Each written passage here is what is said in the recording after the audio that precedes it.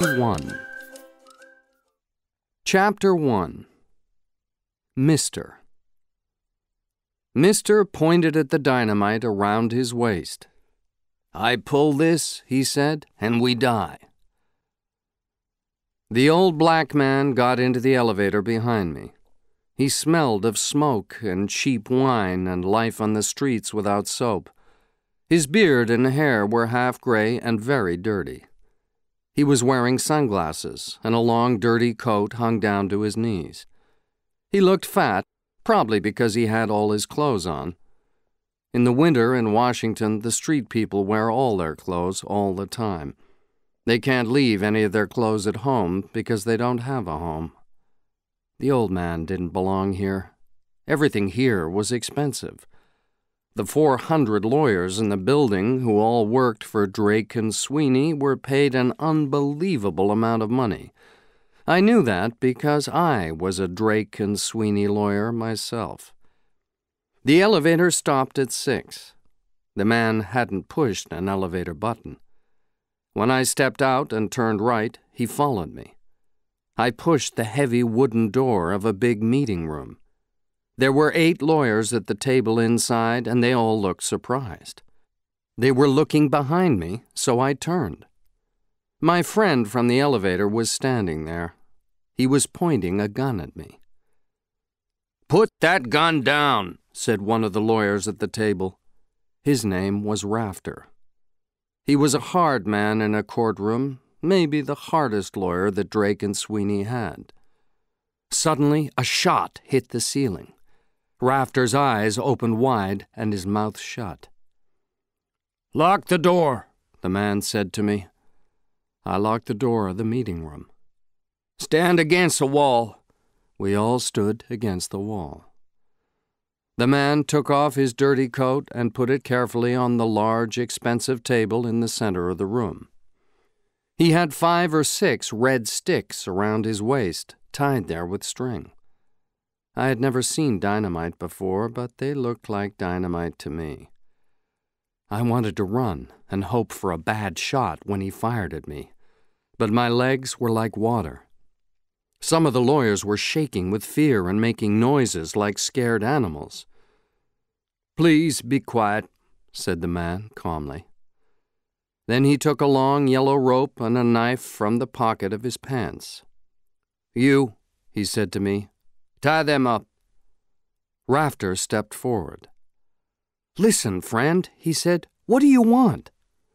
The second shot went into the wall behind Rafter's ear. Do not call me friend, said the man. What would you like us to call you? I asked him quietly. Call me Mister. I tied the eight lawyers with the yellow rope. One of them, Barry Nuzzo, was my friend. We were the same age, 32, and we had started at Drake and Sweeney on the same day, only our marriages were different. His was successful and mine wasn't. He had three kids, Claire and I didn't have any. I looked at Barry, and he looked at me. I knew we were both thinking about Barry's kids. We could hear police cars outside and noises as the police entered the building. Mister pointed at the dynamite around his waist. I pulled this, he said, and we die. For a second, we all looked at each other, nine white boys and Mister. I thought of all those terrible shootings you read about in the newspapers. A crazy worker returns to work after lunch with a gun and kills everybody in his office. There had been killings at fast food restaurants and playgrounds, too. And those dead people were children or honest workers. Who would care about us? We were lawyers. Time passed. What did you eat for lunch today? Mister asked me, breaking a long silence. He spoke clearly, and, from the sound of his voice, he had had a good education. He hadn't always been on the streets. I had chicken and salad, I said, surprised. Alone? No, I met a friend. How much did it cost for both of you? Thirty dollars? Mister didn't like that. Thirty dollars, he repeated, for two people? You know what I had for lunch? No. I had soup. Free soup from a shelter, and I was glad to get it. You could feed a hundred of my friends for thirty dollars, you know that? Yes, mister. Call your boss. There was a phone on the table. I called Arthur Jacobs. Eight hundred lawyers worked for Drake and Sweeney around the world, but at 79, Jacobs was the oldest of the partners here in Washington. He answered at the first ring of the phone. Mr. Jacobs? Michael, are you okay? Wonderful, I said. What does he want from us? I spoke to the man. What do you want, mister? Soup, with bread, said the man. Get it from the shelter at L Street and 17th. They put a lot of vegetables in the soup there. One soup with bread, I said into the phone. No, said the man. Get soup and bread for all of us. Mr. Jacobs, I said. I heard, I can hear him. A shelter for street people does carryouts? Mr. Jacobs, please, just do it. He has a gun and dynamite. I put the phone down. You, said the man. He was talking to me. What's your name? Michael Brock. How much money did you earn last year? Don't lie. I thought quickly. I didn't lie. A hundred and twenty thousand. He didn't like that. How much did you give to poor people? I don't remember. My wife does that. Thank you, Mr. Brock. Mister pointed the gun at the other lawyers. He asked all of them the same questions.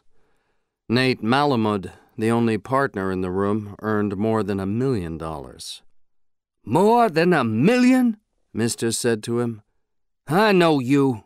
You walk past me when I sit on the sidewalk every morning. You never give me any money. Why can't you help poor people, homeless people? Nate was a big man with white hair. He had been with Drake and Sweeney for thirty years. He was red in the face with embarrassment now. I'm sorry, he said. Who did the eviction? said Mister suddenly. And again, Who did the eviction? Nobody spoke. None of us understood him. But Mister wasn't looking for an answer. He looked out the window. Maybe he was thinking. Maybe he was dreaming. Maybe he was watching the police out there. Our soup and bread arrived half an hour later. There was a knock on the door, and somebody outside shouted through the door, Your food! Mister shouted back, If I see a policeman out there, I'll kill these men. Then he pointed the gun at my head. The two of us walked slowly to the door. Unlock the door and open it very slowly, Mister said. There was nobody outside. The food was on the floor near the door. As I stepped outside and bent down to pick it up, I heard a shout, Stay down! A policeman stepped quickly out of the office opposite and shot Mister through the head. Mister fell without a sound, and my face was covered in blood. Whose blood? Mister was lying on the floor. Half his head had gone, but the sunglasses still covered one eye. His hands were nowhere near the dynamite. Policemen came running from all the offices.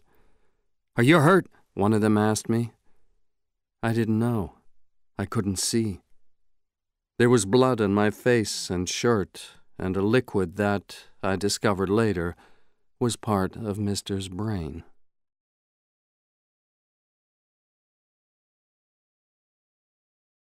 Chapter 2 Devon Hardy Who did the eviction? Mister had asked.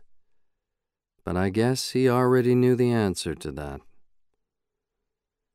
A policeman led me to the first floor of the building, where friends and family and doctors were waiting.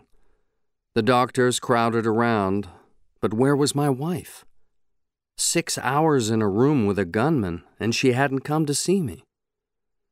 It was funny, really, because my wife, Claire, was a doctor herself at one of the biggest hospitals in Washington. I lay on a table for ten minutes while doctors examined me to make sure I was all right. Then my secretary, Polly, arrived. There were tears in her eyes as she put her arms around me. Where's Claire? I asked her. I called the hospital. She's working. Polly knew there wasn't much left of the marriage. Are you okay? she asked. I think so. I'll take you home. I was pleased someone was telling me what to do. My thoughts came into my head slowly. It was like I was under water. We left the Drake and Sweeney building by a back door. There were police cars everywhere, and ambulances, and television vans, even a fire truck. I'm alive. I'm alive, I realized, smiling for the first time. I'm alive. I looked up to heaven and said a very big thank you. When I got home to our apartment on P Street in Georgetown, Claire wasn't there. I sat in the empty apartment and thought about her. We had met the week after I moved to Washington. I was just out of Yale with a great job. She came from one of America's oldest families. We were in love, we got married.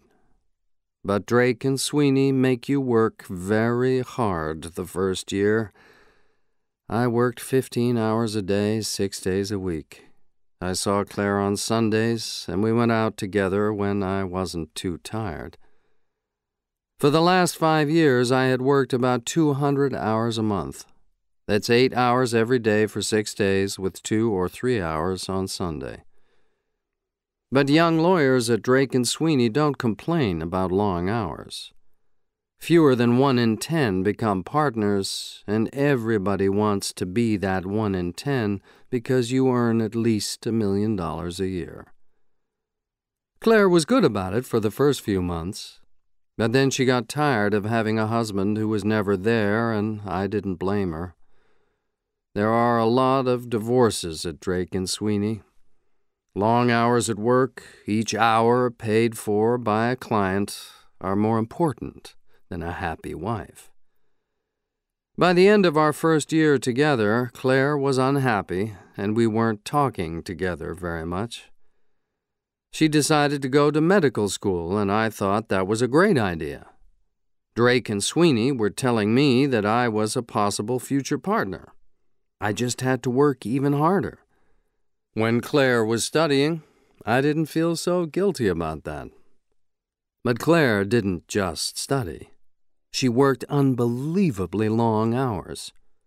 She had decided she wanted to be a great doctor. Soon we were playing a crazy game called I Can Work Harder Than You, and another game called My Job is More Important Than Your Job Because I'm a Doctor, Lawyer.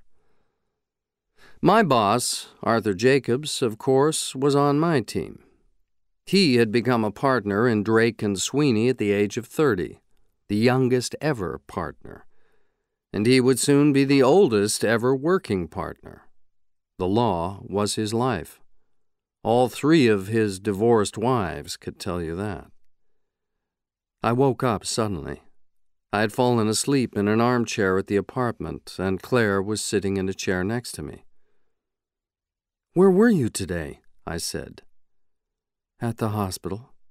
At the hospital? Nine of us are in a room with a crazy man and a gun for six hours? We get lucky and escape? Eight families come and see their relative because they're interested in whether or not he's alive. And how do I get home? My secretary drives me. I couldn't be there. Oh, no, of course you couldn't be there. How silly of me. I couldn't be there because the police asked all doctors to stay at their hospitals until the situation at Drake and Sweeney ended. They always do that when there's a possible shooting. Oh. Did you call? I tried. I guess there were a lot of people trying.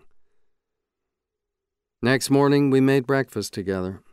We ate in the kitchen, watching the small television.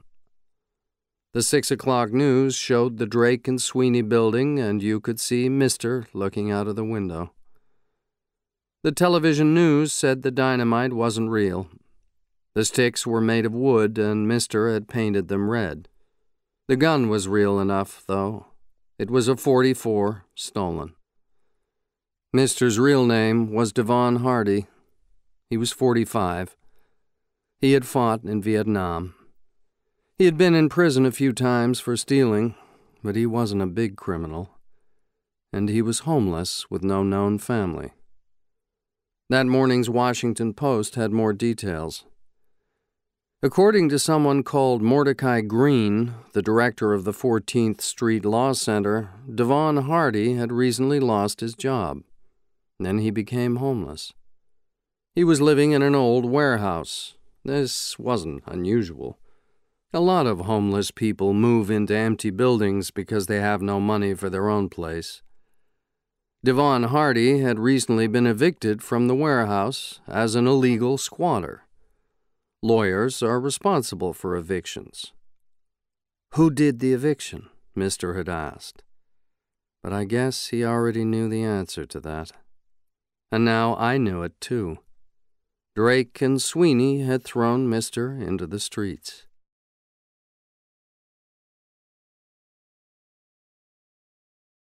Chapter 3 Mordecai Green Mordecai Green was a warm, caring man whose work was on the streets.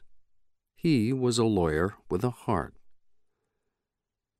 I had told Polly I would be at work today, the day after Mister came into the office.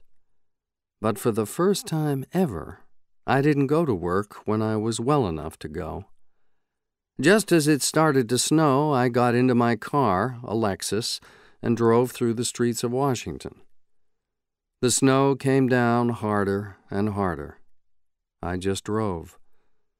Polly's voice came over the car phone. She sounded worried. Where are you? Who wants to know? A lot of people. Arthur Jacobs wants to see you. You have clients waiting for you. I'm fine, Polly. Tell everybody I'm at the doctor's office. Are you? No, but I could be. I drove around Georgetown, not going anywhere, just driving. The clouds were dark. The snow would be heavy. People were hurrying through the snow on the sidewalks. I saw a homeless man and wondered if he knew Devon Hardy. Where do street people go in a snowstorm? I called the hospital. I wanted to ask Claire to meet me for lunch. But the hospital said Claire was busy and they couldn't contact her. That was the end of our lunch together. I turned and went northeast, past Logan Circle, into the gang area of the city, and drove until I found the 14th Street Law Center. I parked at 14th and Q, certain that I would never see the expensive Lexus again. The 14th Street Law Center was in an old, tall, red brick house that had seen better days. The windows on the top floor were protected by pieces of wood over the glass. The door wasn't locked. I went in slowly, out of the snow, and entered another world. It was a law office, all right, but there was no expensive furniture here. Not like at Drake and Sweeney. I stepped into a large room which had three metal desks, each covered in files. There were more files on old pieces of carpet on the floor. The computers and the only photocopier were ten years old. There was a large photograph of Martin Luther King on one wall. The office was busy and dusty and interesting. You looking for somebody? asked a woman at a desk with the name Sophia Mendoza on it. She looked Mexican. She wasn't smiling, but I did. It was funny. Nobody at Drake and Sweeney would talk to a visitor like that. They would lose their job. But I would soon learn how important Sophia was to the 14th Street Law Center. I'm looking for Mordecai Green, I said. But just then he came out of his office. Sophia went back to her work. Green was an enormous black man, at least two meters tall and very heavy. He was in his early fifties with a gray beard and round red glasses. He shouted something about a file to Sophia and then turned to me. Can I help you? I want to talk to you about Devon Hardy, I said, and gave him my Drake and Sweeney card. He looked at me for a few seconds and then looked quickly at Sophia, who was speaking in fast Spanish into the phone. Mordecai Green walked back into his office, and I followed him in. The office was a small room with no windows, and the desk and floor covered in files and law books. Sit down, he said. But you might get dirty. What do you want? I sat down. I was in the room with Devon Hardy when he was shot, I said. I couldn't think this morning. I didn't want to go to work, so I came here. Any idea why he did it? Because of the eviction, said Mordecai Green. A few months ago, he moved into an old warehouse at the corner of Florida Avenue. It wasn't a bad place for a homeless person. It had a roof, some toilets, water. Who owned the warehouse? Mordecai pulled a thin file from one of the piles on his desk. It was exactly the one he wanted. He looked at the file for a minute. The warehouse was owned by a company called River Oaks. And River Oaks lawyers are Drake and Sweeney? Probably. Is that all? No. I heard that Devon Hardy and the others got no warning of the eviction. But you can evict squatters with no warning. Oh, yes. You can't evict tenants without a warning, though. Was Devon Hardy a squatter or a tenant? I don't know. I thought of another question. How did Devon Hardy know about Drake and Sweeney? Who knows? He wasn't stupid, though. Crazy, but not stupid. I had taken enough of his time. He looked at his watch, I looked at mine. We exchanged phone numbers and promised to stay in contact. Mordecai Green was a warm, caring man whose work was on the streets, protecting hundreds of nameless clients. He was a lawyer with a heart. On the way out, Sophia didn't look up from her conversation on the phone. The Lexus was still there, covered by an inch of snow.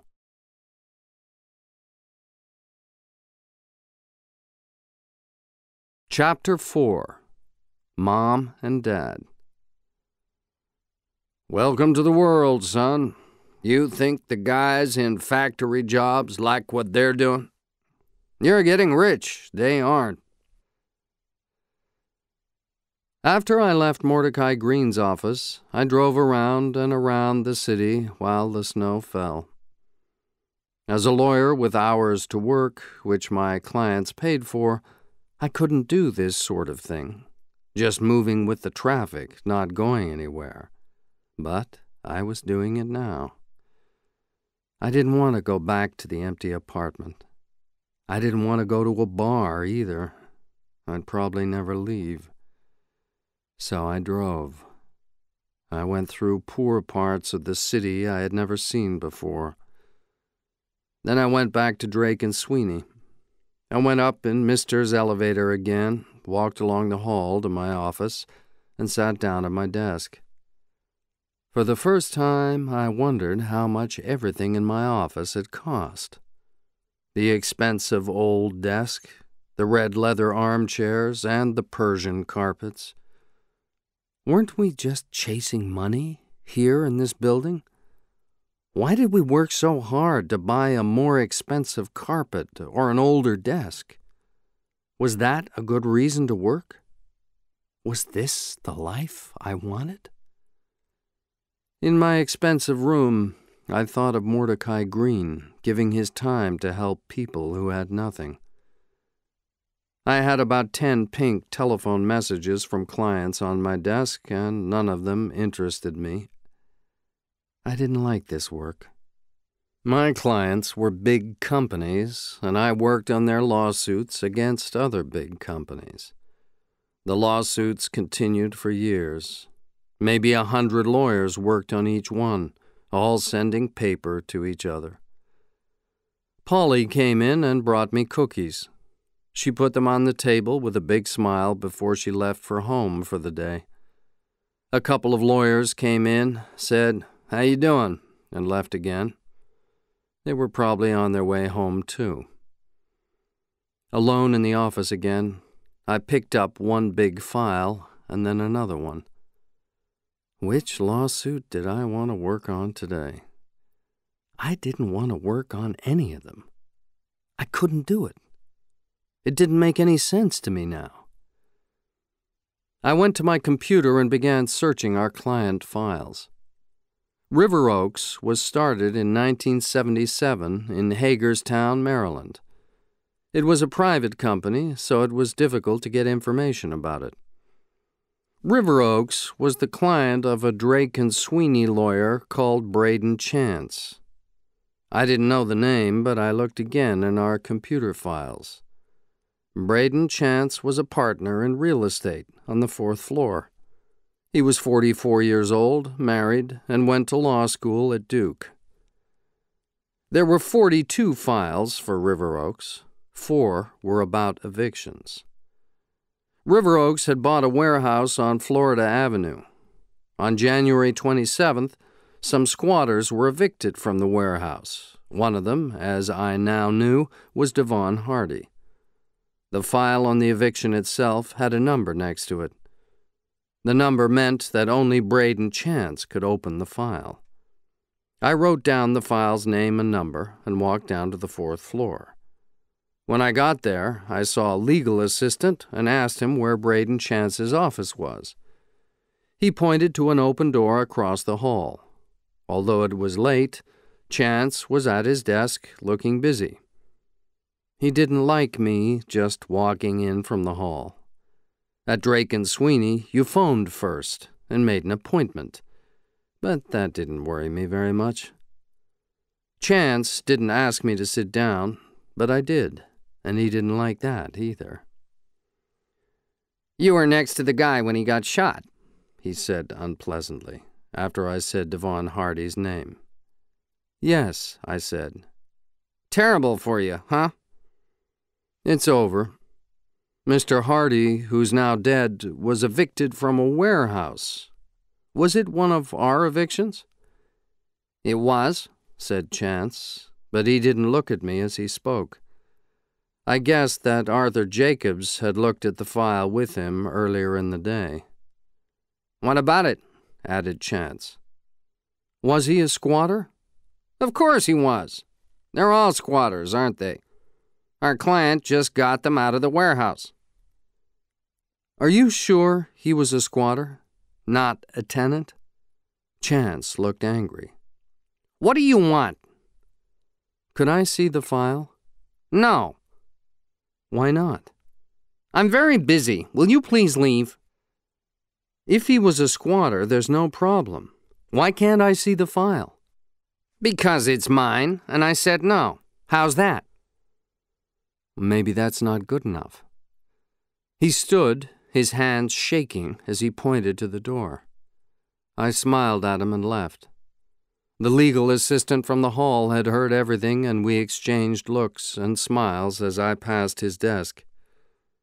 The man's a fool, he said very quietly. I smiled again. Yes. But what was Chance hiding? There was something wrong, and it was in that file. I had to get it. I went back to my office to think. The phone rang. It was Claire. Why are you at the office? She spoke very slowly, and her voice was colder than the snow outside. I looked at my watch. I remembered we had arranged to have dinner together at the apartment. I, uh, well, a client called from the West Coast. I had used this lie before. It didn't matter. I'm waiting, Michael. Should I start to eat? No, I'll be back at the apartment as fast as I can. I ran from the building into the snowstorm, but I didn't really care that another evening together had been ruined. A few hours later, Claire and I were having our coffee by the kitchen window. The snow had finally stopped. I had an idea. Let's go to Florida, I said. She gave me a cold look. Florida? Okay, the Bahamas. We can leave tomorrow. It's impossible. Not at all. I don't have to work for a few days. Why not? Because I'm going crazy. And at Drake and Sweeney, if you go crazy, then you get a few days off. You are going crazy. I know. It's fun, actually. People are nice to you. They smile. Polly brought me cookies today. I like it. The cold look returned, and she said, I can't. And that was the end of that. I knew she couldn't do it. She was a doctor. People had appointments with her. But also, she didn't want to go with me. Okay, I said. Then I'm going to Memphis for a couple of days to see my parents. Oh, really? She said. She didn't even sound interested. I need to see my parents. It's been almost a year, and this is a good time, I think. I don't like the snow, and I don't feel like working. Like I said, I'm going crazy. Claire got up and went to bed. Well, call me, she said over her shoulder. I knew that was the end of my marriage. And I hated to have to tell my mother. My parents were in their early 60s and trying to enjoy not working for the first time in their lives. Mom had been a bank manager. Dad had been a lawyer in Atlanta. They had worked hard, saved hard, and given me the best of everything. Dad always wanted me to be a lawyer, like him. I rented a car at Memphis Airport and drove east to the rich part of the city where the white people live. The blacks had the center of the city, and the whites the area outside. Sometimes the blacks moved out from the center into a white area, and then the whites moved further out. My parents lived on a golf course in a new glass house. You could see the golf course from every window. I had called from the airport, so Mom knew I was coming. What's wrong? she asked me when she saw me. Nothing. I'm fine. Where's Claire? You guys never call us, you know. I haven't heard her voice in two months. Claire's fine, Mom. We're both alive and healthy and working very hard. Are you spending enough time together? No. Are you spending any time together? Not much. I saw the tears in her eyes. I'm sorry, Mom. It's lucky we don't have kids. To talk about something else, I told her the story of Mister. Are you all right? she asked, a look of shock on her face. Of course. I'm here, aren't I? The company wanted me to take a couple of days' holiday, so I came home. You poor thing. Claire and now this. Later that afternoon, my dad and I played golf. Dad, I'm not very happy at Drake and Sweeney, I said. I don't like what I'm doing. Welcome to the world, son. You think the guys in factory jobs like what they're doing? You're getting rich. They aren't. Be happy. He was happy. He was winning at the golf. Ten minutes later, he said, Are you changing jobs? I'm thinking about it. Why don't you just say what you're trying to say? As usual, I felt weak and like I was running away from something. I'm thinking about working for the homeless, I said. As a lawyer, I added quickly. Dad didn't stop playing. He hit a ball into the distance. I'd hate to see you throw it all away, son, he said. You'll be a partner in a few years. We walked after his ball. A street guy's killed in front of you and you have to change the world? You just need a few days away from work. Is that all?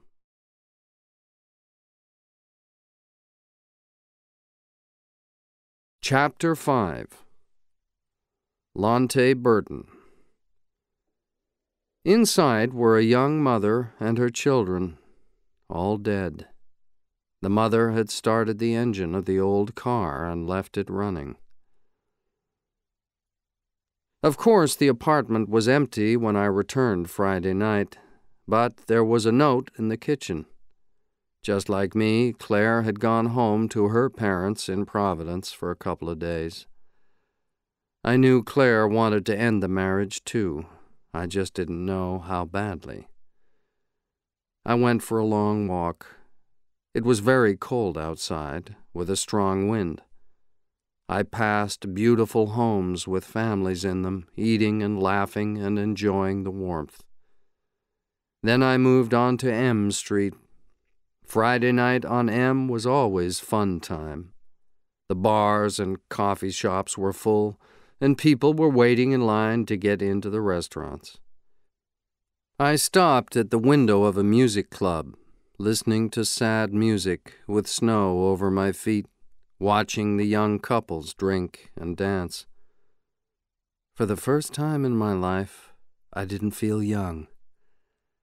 I was 32 but in the last five years I had worked more than most people do in twenty.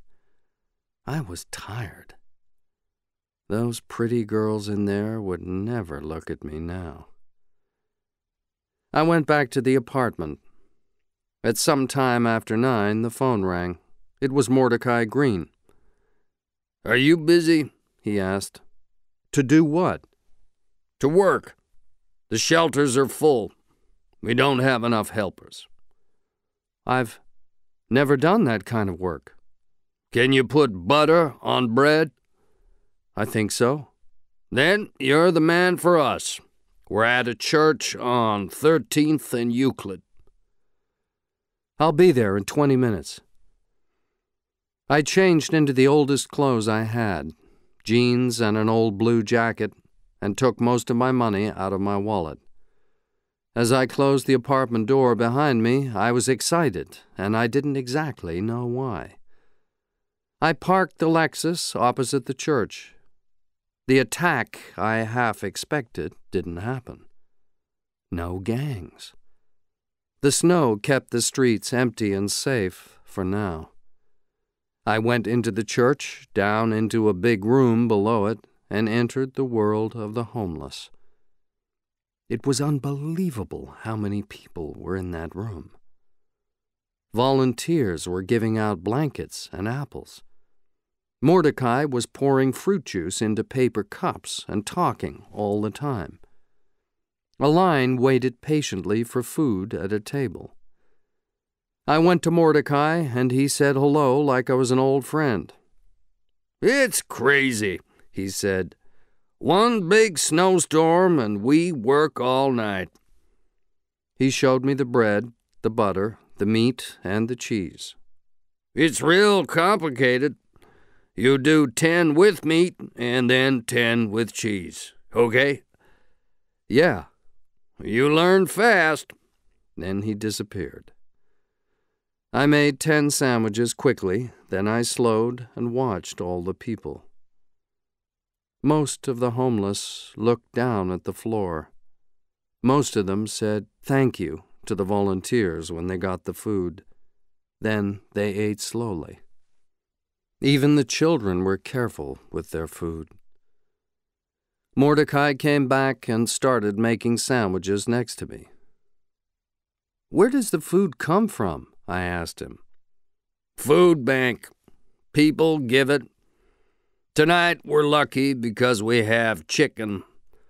Usually it's just vegetables. How many shelters like this are there in the city? This isn't actually a shelter. The church kindly opens its doors when the weather's bad. When the doors close, they go out again. I tried to understand this. Then where do these people live? Some are squatters. They're the lucky ones. Some live on the streets, some in parks, some in bus stations, some under bridges. Usually it's okay, but they can't stay out in the open tonight. It's too cold. They have to go to one of the shelters. How many shelters are there? About twenty. Two are closing soon. No money. How many beds? About five thousand. And how many homeless? Good question. They're a difficult group to count. Mm, maybe ten thousand. I thought about that. Then I asked Mordecai about himself. You have a family? Yes. A wife, three sons. One's in college, one's in the army, and and we lost our third boy on the streets ten years ago. He was killed. Gangs. What about you? Married, no kids. Mordecai disappeared again. A helper brought cookies. I took four of them and walked to a corner where a young mother was asleep with a baby under her arm and two small children half asleep under blankets. The oldest boy's eyes opened wide when he saw the cookies in my hand. I gave him one. His eyes shone as he took it and ate all of it. Then he wanted another one. He was small and thin, no more than four years old. The mother woke up, saw the cookies, and smiled. What's your name? I said to the boy. After two cookies, he was my friend for life. Ontario? How old are you? He showed me four fingers. Four? I said. He said yes and put his hand out for another cookie, which I gladly gave him. I wanted to give him things anything he wanted. Where do you live? I whispered. In a car, he whispered back. You got more apple juice? Sure. I went to the kitchen and got him a cup of apple juice and more cookies. The mother was sleeping again. Like many homeless people, she moved a lot in her sleep. She was cold. I took my jacket off and put it over her. Then the baby cried and woke her. Without thinking, I took the baby, smiling at the mother all the time. She was happy to let me hold it so she could get some sleep. I stayed there until three in the morning.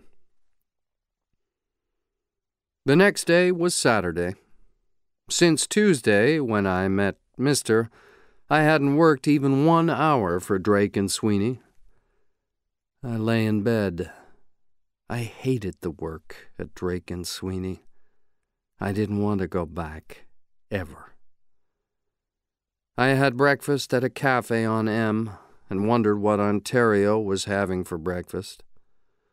Then I went shopping candy and small toys for the kids, soap for the all, warm clothes in lots of children's sizes. I'd never had so much fun spending $200. And I wanted to spend more. I wanted to put that family in a hotel for a month.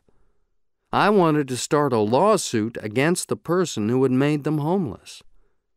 I couldn't wait to have Ontario's family as my clients. I went back to the church, leaving all the toys and clothes in the car. But Ontario's family weren't there. I asked Mordecai where they were. Who knows? The homeless go from kitchen to kitchen, shelter to shelter. Next morning, Sunday, I had the small television in the kitchen on while I ate breakfast. But the TV news stopped me from eating. I heard the words, but I didn't want to believe them. I walked toward the television. My feet were heavy. My heart was cold. My mouth was open in shock and disbelief. Sometime around 11 p.m., Washington police found a small car near Fort Totten Park, in a gang area in the northeast of the city. It was parked on the street. Inside were a young mother and her children, all dead. The mother had started the engine of the old car and left it running to keep the family warm. The air in the car poisoned them while they slept. They gave the mother's name. It was Lontae Burton. The baby was Temeko. The other children were Alonzo and Ontario. Their candy and toys and soap and clothes were still in my car.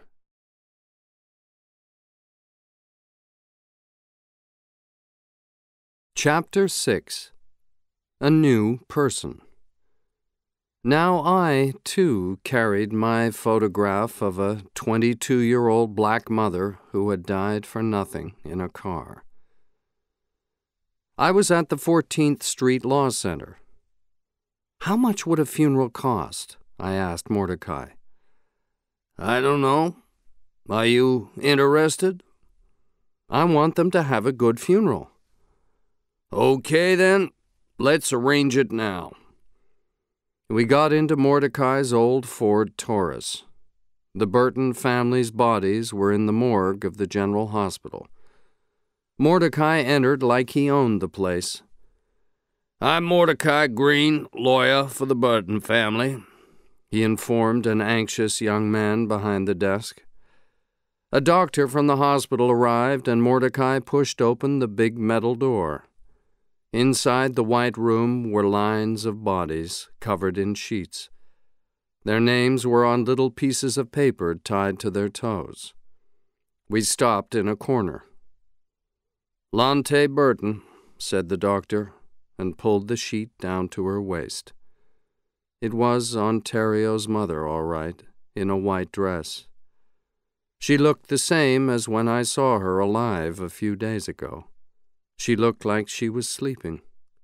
I couldn't stop staring at her. That's her, said Mordecai in a confident and loud voice, like he'd known her for years.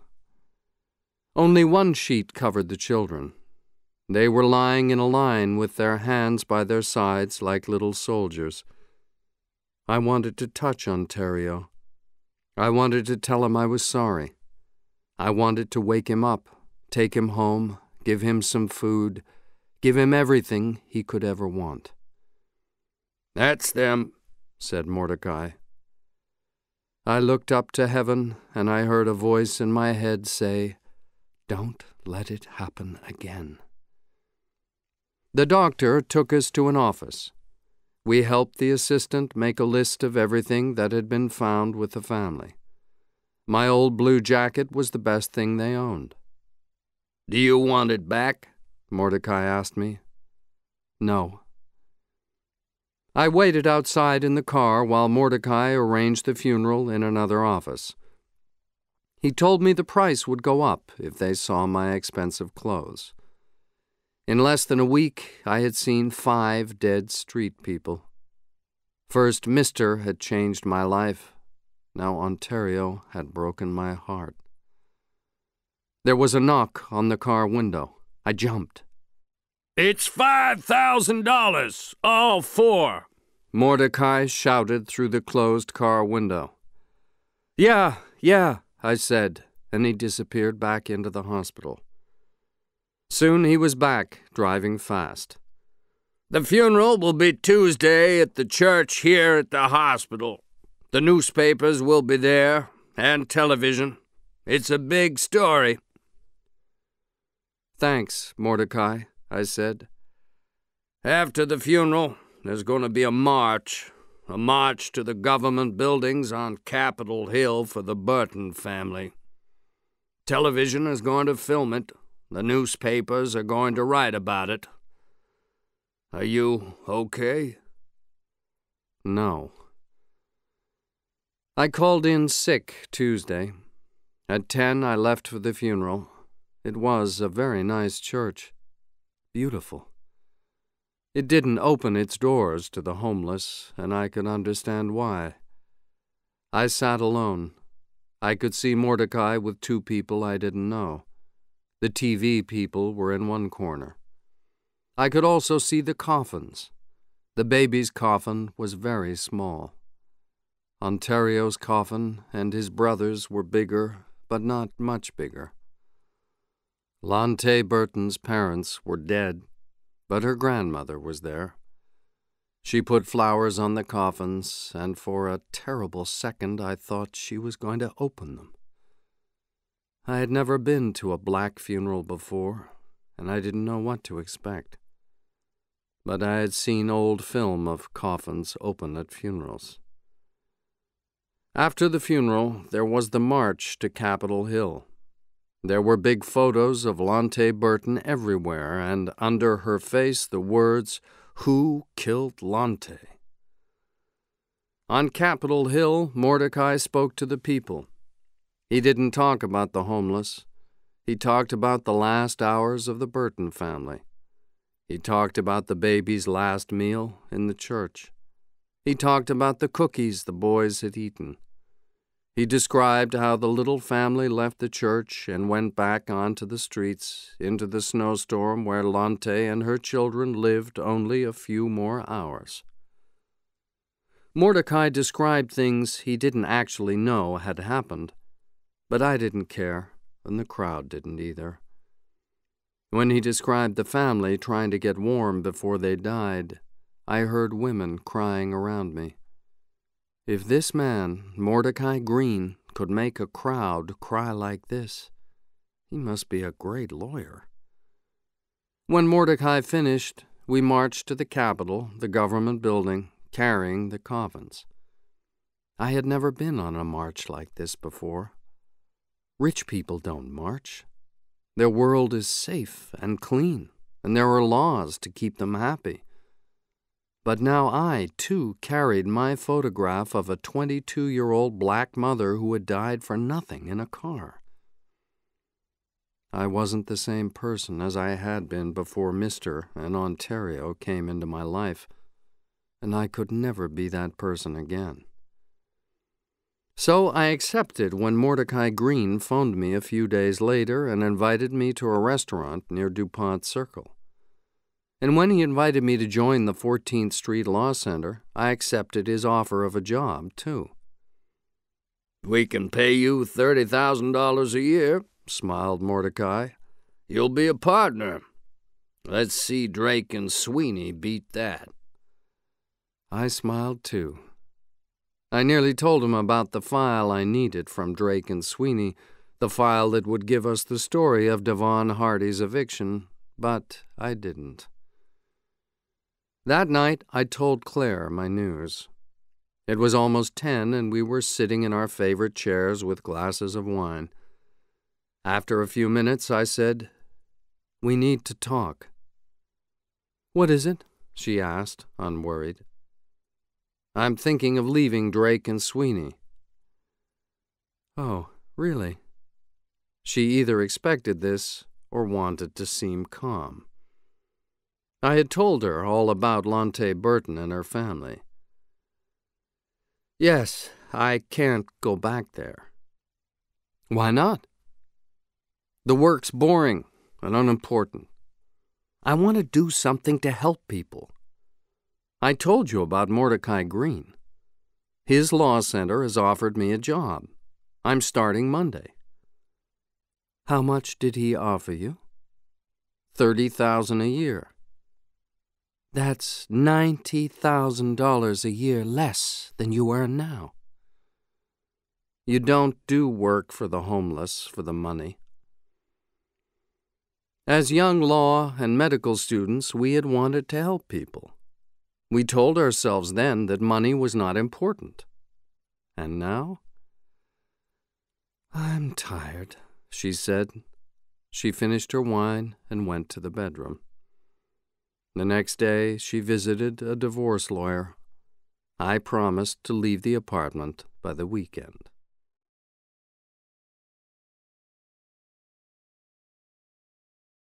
Chapter 7 Braden Chance and River Oaks. The note read Top key is to Chance's door, bottom key is to the file drawer under the window. I went back to Drake and Sweeney for my last day. They didn't want me to leave. There was a lot of work, and they didn't want to find someone new. I was invited to breakfast with Arthur Jacobs in the partner's private dining room on the eighth floor. How could I turn my back on a world of breakfasts in the partner's dining room? That was the idea. Over breakfast, Arthur suggested that I could stop working at Drake and Sweeney for a year and work pro bono at the law center. He said that Drake and Sweeney should do more pro bono work. He offered to pay the difference between the law center's thirty thousand a year and what I earned at Drake and Sweeney. I smiled. I would be Drake and Sweeney's pro bono boy for a year, and they could all feel good about themselves. During that year, a partner would take my clients. I would return after a year, happy, and take my clients back. Actually, I didn't say no immediately. They had at least tried. Arthur often talked about pro bono work, though clients and their paid hours always came first. But I thought about the offer, and then I said no. By now, I hated my old work too much to go back to it. I didn't like the old me that had done the work very much either. I was trying to explain to Arthur that I was a different man now, when Braden Chance sat down at a table not far from ours. He didn't see me at first, but then I saw him staring at me. Good morning, Braden, I said loudly. Arthur turned around to see who I was talking to. You know him? he asked quietly. We've met, I said. He's a fool, said Arthur very quietly. It was the same word the legal assistant had used about Chance. When I got back to my office, there were two files on my desk. They hadn't been there before my breakfast with Arthur. In the first one, there was a list of names headed People Evicted, River Oaks. Number four was Devon Hardy. Number 10 was Lontae Burton and three children. I sat there for two or three minutes in silence. Why would anyone put something like this on my desk if the information wasn't true? At the bottom of the page, someone had written a few words in pencil. The eviction was wrong. I opened the second file. There were two keys in it and a typed note. The note read, Top key is to Chance's door. Bottom key is to the file drawer under the window. I put the files away. I had to do some work. I also had a working lunch that day.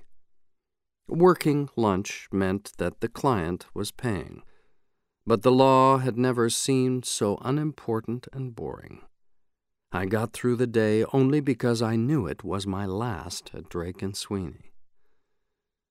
It was almost five before I got a few minutes alone.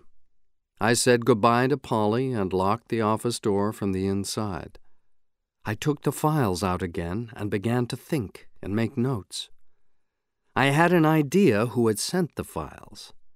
The young legal assistant who had called Chance a fool. Legal assistants did the evictions, and it was his job to put documents in the file.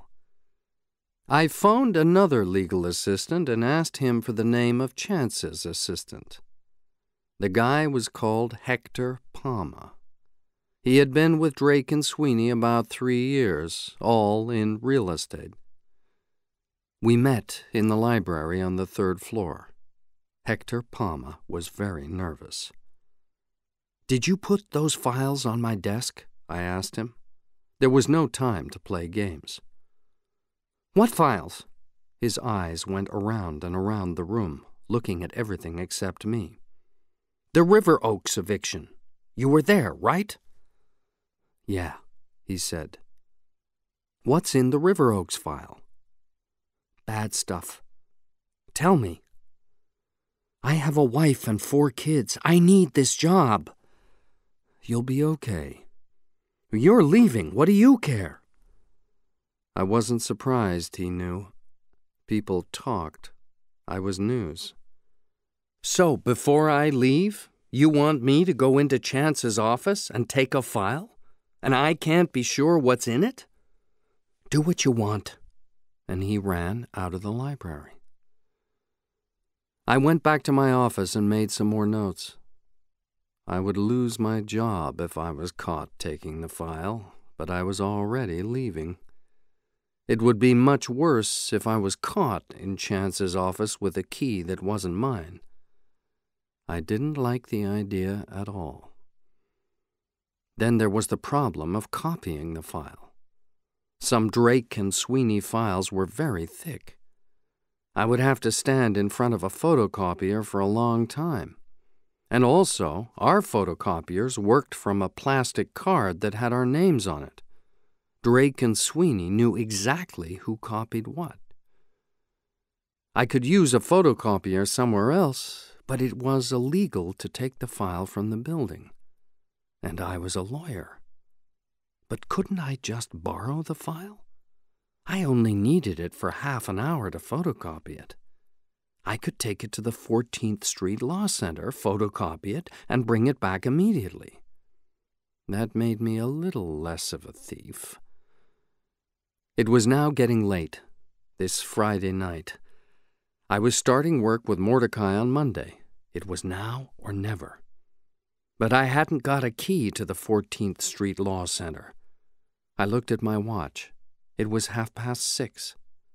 I drove to 14th Street, my partners were still there. Sophia actually smiled at me, but only for a second. Welcome to your new job, said Mordecai seriously, like I needed all the luck in the world. How about this? he said, pointing at my new office. The best office in the area. Beautiful, I said, stepping inside. My new office was about half the size of the one I had just left. My Drake and Sweeney desk would be too big to go in there. There was no phone. I like it, I said, and I did. I'll get you a phone tomorrow, said Mordecai. It was dark, and Sophia wanted to leave. Mordecai and I ate some sandwiches he had bought. He made us both coffee. I looked at the copier. It was about ten years old, but I knew it worked. What time are you leaving tonight? I asked Mordecai with my mouth full of sandwich. Why? I'm going back. I have some last minute stuff they want me to finish. Then I'd like to come back here late. Would that be possible? Mordecai was eating his sandwich. He reached into a drawer and threw me a key. Come and go as you please, he said. Will it be safe? No, so be careful. Park as close to the door as you can. Walk fast. Then lock yourself in. I walked fast to my car at 7:30. The sidewalk was empty. My Lexus was fine. Maybe I would be okay on the streets. The drive back to Drake and Sweeney took 11 minutes. If it took 30 minutes to copy Chance's file, then it would be out of his office for about an hour, and he would never know. Real estate was empty. I knocked on Chance's door. No answer. I used the key to his door and went in. Should I turn on the light? It was dark. I would have to. I locked the door, turned on the light, went to the bottom file drawer under the window, and unlocked it with the second key. I found the River Oaks file and was reading through it when a voice outside shouted, Hey! and I jumped. A conversation started outside. Two guys were talking baseball. I turned off the lights, listening to their talk. Then I sat on Chance's sofa for ten minutes. I could put the file back. If they saw me leaving Chance's office, nothing would be done. It was my last day. But if they saw me taking a file, that was very different. Be patient, I told myself. After baseball, they started talking about girls. I think they were a couple of young legal assistants working late. Then finally, it was quiet. I locked the drawer in the dark, opened the door, and went out. Hey! Shouted someone behind me. I ran. I ran to the back of the building, got into the Lexus, and drove off. That was stupid, I thought. Why did I run? Why didn't I talk to the guy? I still worked at Drake and Sweeney, didn't I? That was my last thought before the Lexus was hit by a Jaguar speeding down 18th Street. I remember a voice saying, I don't see any blood. And then I remember Claire sitting by my bed at the George Washington University Medical Center. End of CD 1 CD 2 Chapter 8 Hector Palma Michael, you won't be a lawyer when they've finished. Not here, not anywhere. You're going to lose your license. I woke up at seven in the morning, and a nurse gave me a note from Claire. It was a really sweet note. It said that she had to go to work and that she had spoken to my doctors and I probably wouldn't die. Claire and I must look like a happily married couple to the doctors and nurses. Why were we getting a divorce? My left arm was blue. My chest hurt when I breathed. I looked at my face in the bathroom. There were some small cuts, but nothing that wouldn't disappear over the weekend. A nurse told me the Jaguar had been driven by a gang member who sold drugs. Welcome to the streets, I thought, as I tried not to breathe too much. The doctor came at 7:30. No bones were broken. They wanted me to stay in a hospital for one more day just to be safe, but I said no. I had to find a new apartment. The first real estate office sent me to an apartment at Adams Morgan, north of DuPont Circle. It was three little rooms at the top of a house. Everything in the bathroom worked, the floor was clean, there was a view over the streets. I took it. That evening, I went back to my old apartment to see Claire. We ate a Chinese carryout. Our first ever meal together had been a carryout, and this was our last meal together as husband and wife. Claire had the divorce papers waiting for me on the table, and I signed them. In six months, I would be single. Do you know someone called Hector Palma? She asked halfway through the Chinese dinner. My eyes opened wide. Yes? He called an hour ago. Said he had to talk to you. Who is he? A legal assistant with Drake and Sweeney. He wants me to help him. He has a problem. Must be a big one. He wants to meet with you at nine tonight, at Nathan's on M Street. Why a bar? I said, half to myself, half to Claire. He didn't say. He sounded strange on the phone. Suddenly, I wasn't hungry. I finished the meal only because I didn't want to look worried in front of Claire. But it wasn't necessary. She wasn't even looking at me. I walked to M Street. Parking is impossible on a Saturday night. It was raining, and my chest hurt. As I walked, I thought about what to say. I thought of lies I could tell. After taking the file, it seemed easier to lie. Hector might be there for Drake and Sweeney. He might be wired to record what I said. I would listen carefully and say little. Nathan's was only half full. I was ten minutes early, but he was there, waiting for me at a table in the corner. As I came in, he jumped up from his seat and put his hand out. You must be Michael. I'm Hector Palma from real estate. Nice to meet you.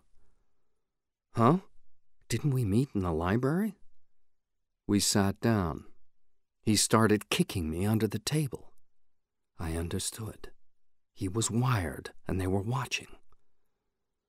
A waiter came. I ordered black coffee, and Hector asked for a beer.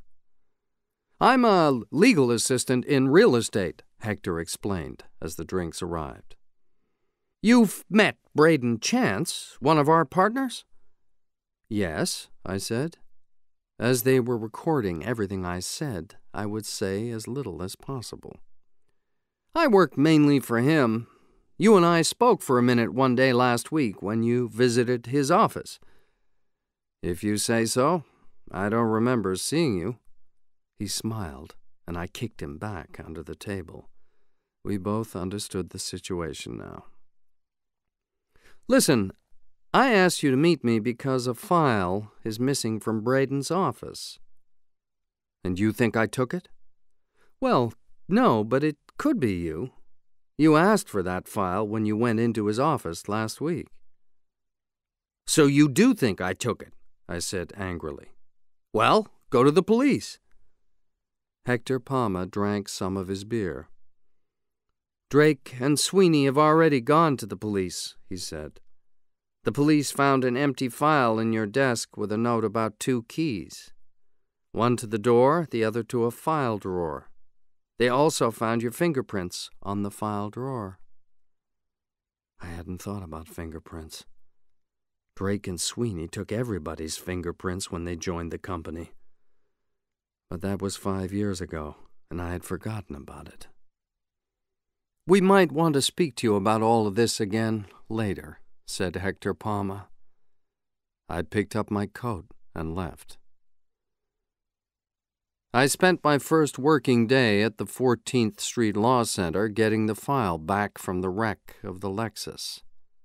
Mordecai helped me. We had to go to Georgia Avenue, where the police keep wrecked cars. I told Mordecai that the file was important, but not what was in it. Back home in my new apartment, I looked at the file. River Oaks was a real estate company. They wanted to build a new mail office for the Washington Post Office and then rent the building to them.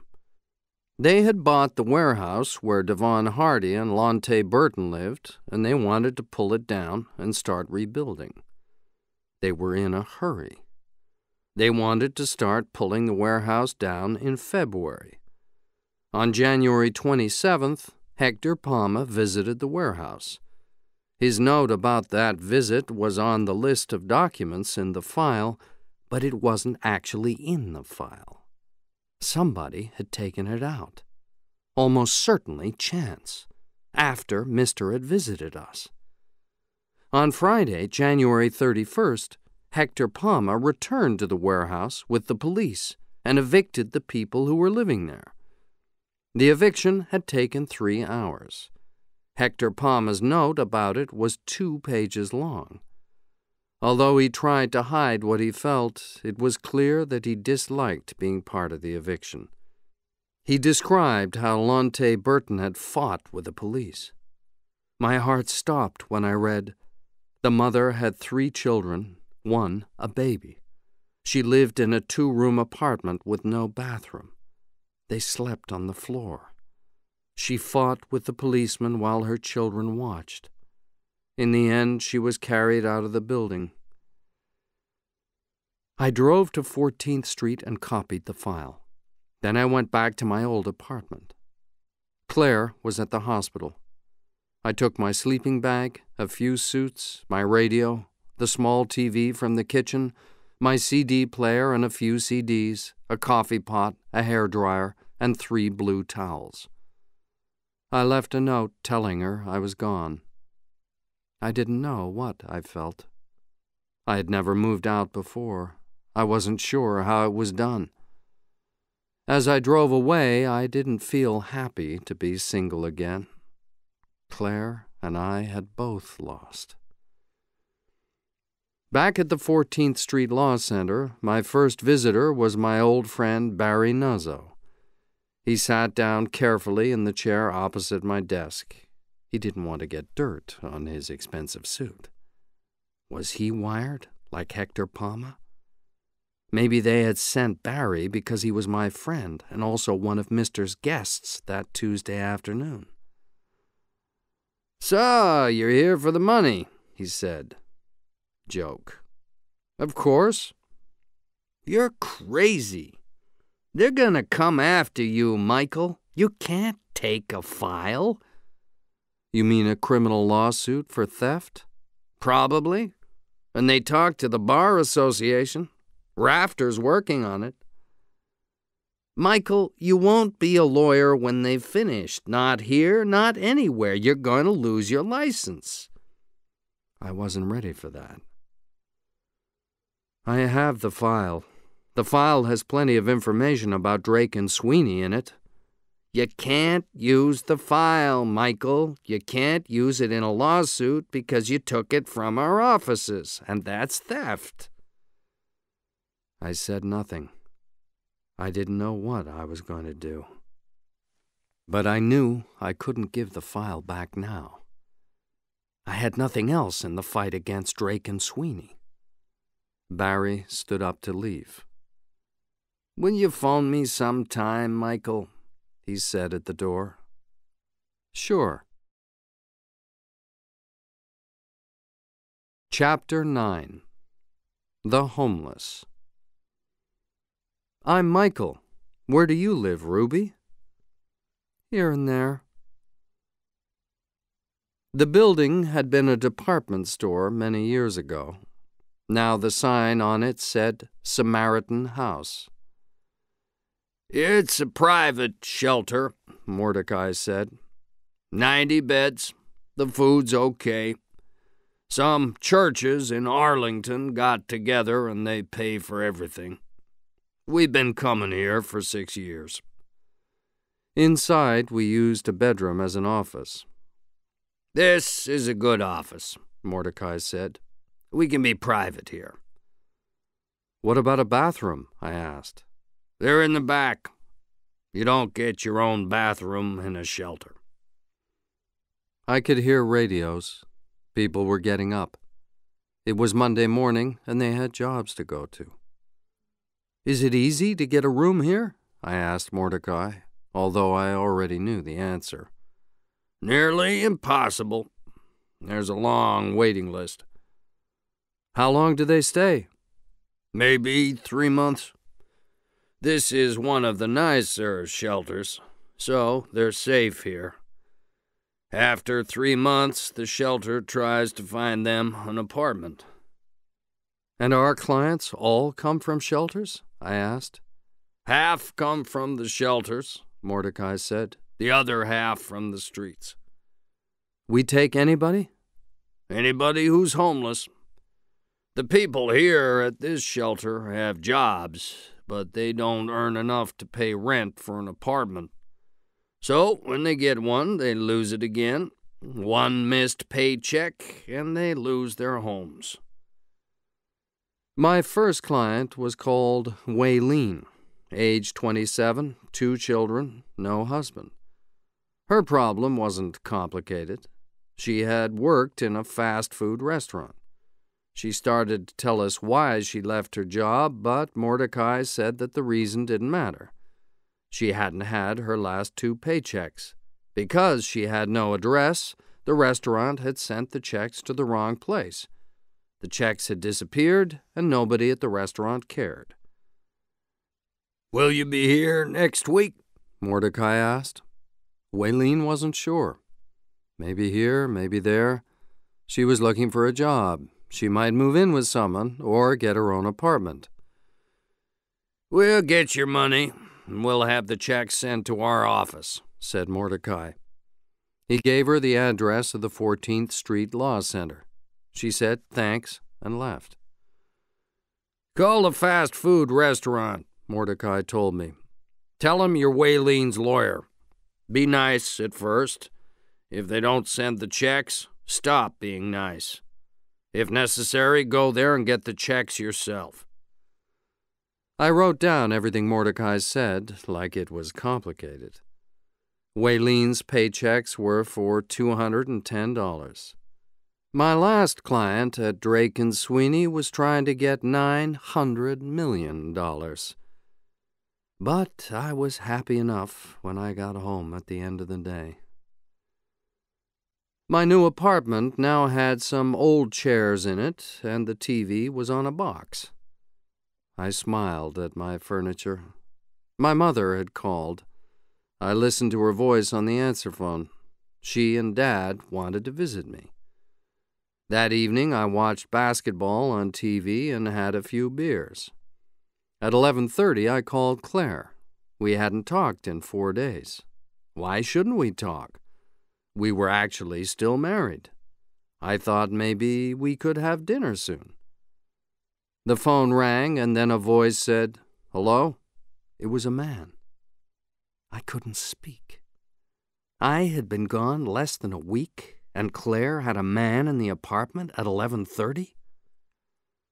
I almost put the phone down, but then I said, I'd like to speak to Claire, please. Who's calling? Michael, her husband. She's in the shower, he said. He sounded pleased with himself. Tell her I called, I said. I walked around the room until midnight. Then I went for a walk in the cold. Why did our marriage go wrong? Who was that guy? Was he someone she had known for years and I didn't know about him? I told myself it didn't matter. We weren't divorcing because of other people. We were divorcing because of us. And if she was free to find another guy, then I was free to find someone too. Yeah, right. At 2 a.m., I was walking around DuPont Circle, stepping over people sleeping in the street. It was dangerous, but I didn't care. After a couple of hours, I went home and got some sleep. Then I wanted to work. I got to 14th Street before 8 that morning, ready to start.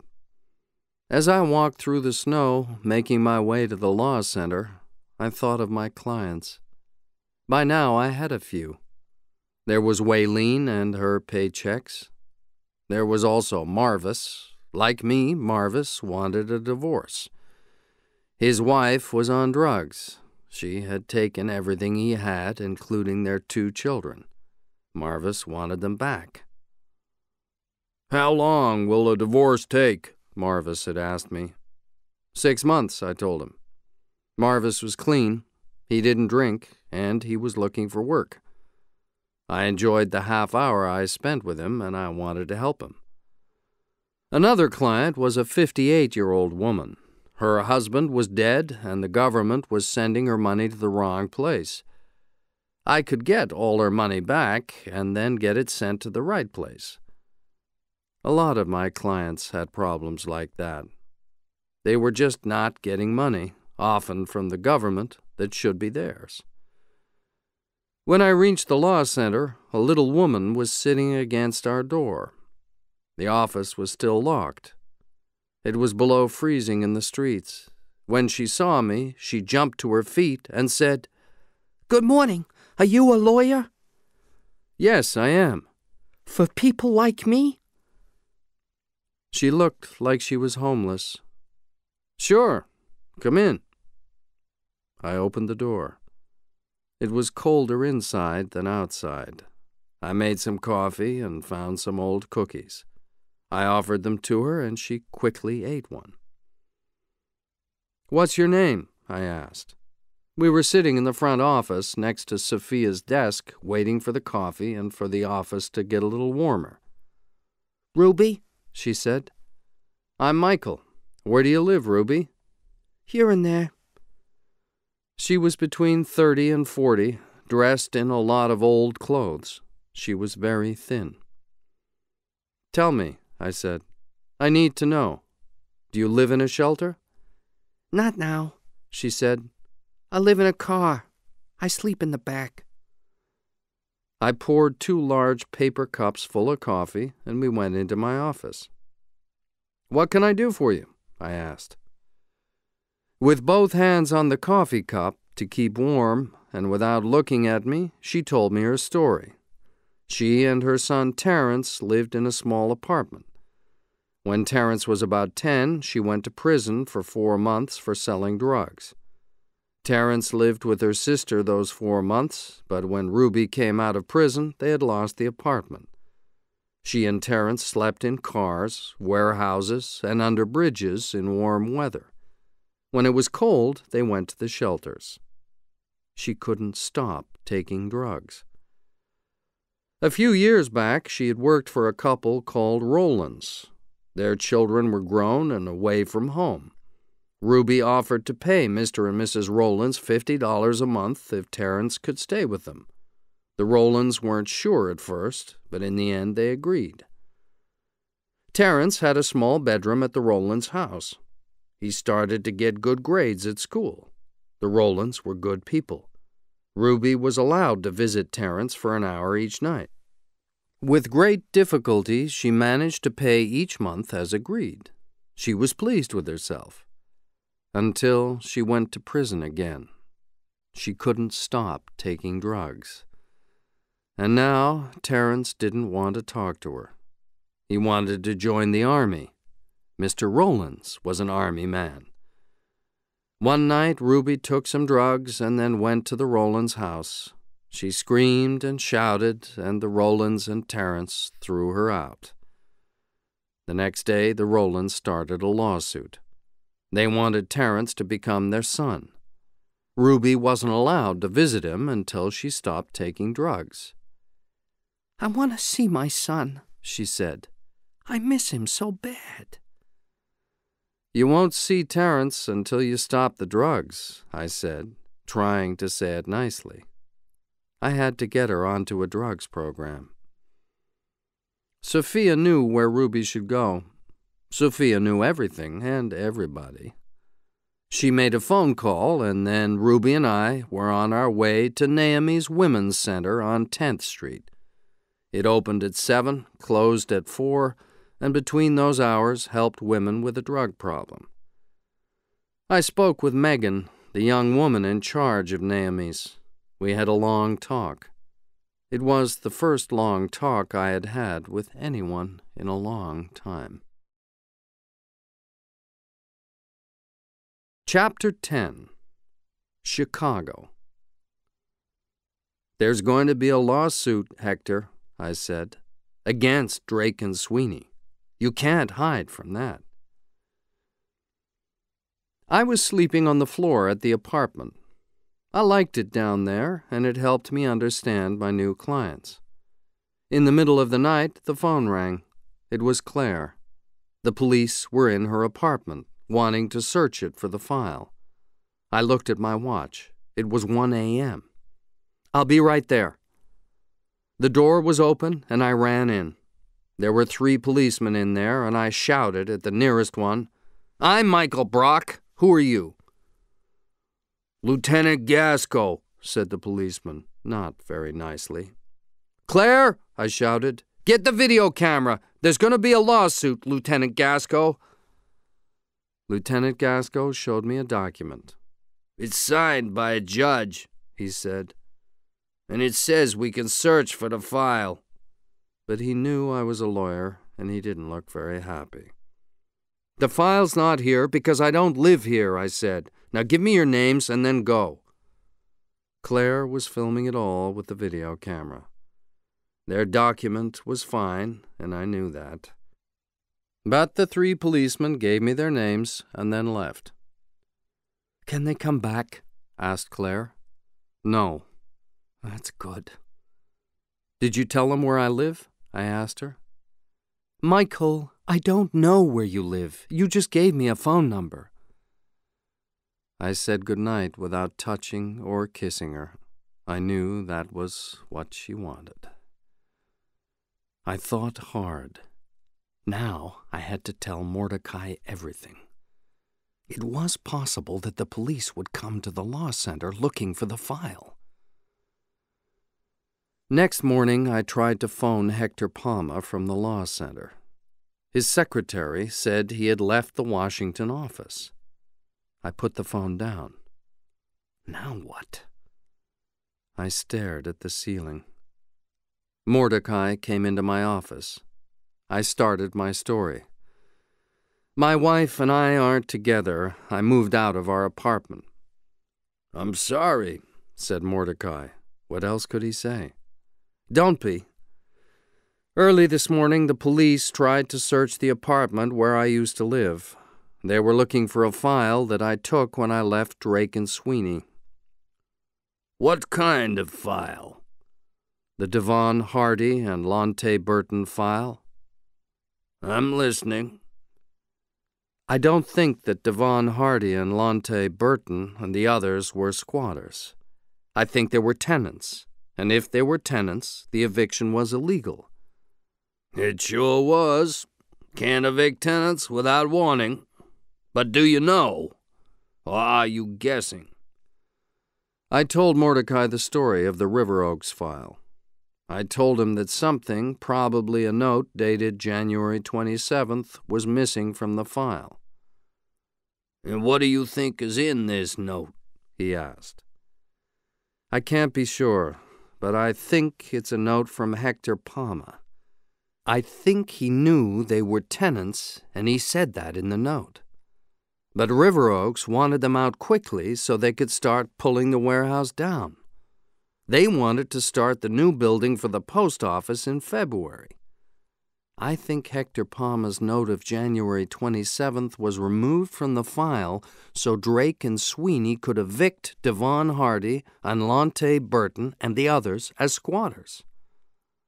Good, said Mordecai. So we start a lawsuit for the family of Lontae Burton and the other people who were evicted. Yes, I said. That way, Hector Palma has to tell the judge what he knows. I'll contact Lontae Burton's parents, Mordecai said. They would be our clients in the lawsuit. Her parents are dead, but she has a grandmother. Fine. She'll be our client. But first, we need to find Hector Palma. I think Drake and Sweeney will keep him in the company. If he leaves the company, they lose control of him. But they want him out of Washington. I think he's working for Drake and Sweeney in another city. Probably a new job with more money. Sophia! shouted Mordecai, loud enough to be heard on Capitol Hill. Sophia!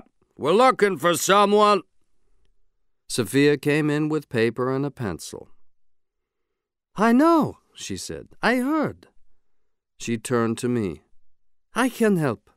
Tell me everything you know about this person. I told Sophia Hector Palma's name, address, and job. I described him and said he had a wife and four kids. Age? Maybe thirty.